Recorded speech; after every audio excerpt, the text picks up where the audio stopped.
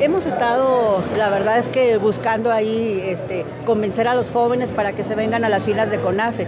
No es fácil porque ellos tienen, este, pues ahorita hay más becas, a lo mejor sin ir a una comunidad pues pueden tener una beca, entonces eso nos limita un poquito.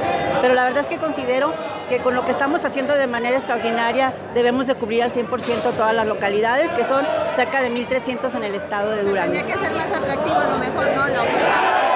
Con el apoyo que va a dar el señor gobernador económico a nuestras figuras, creo que va a ser un poco más económico, como tú digo, más, eh, más de más beneficio para los jóvenes y bueno, van a estar más motivados a venirse a CONAF.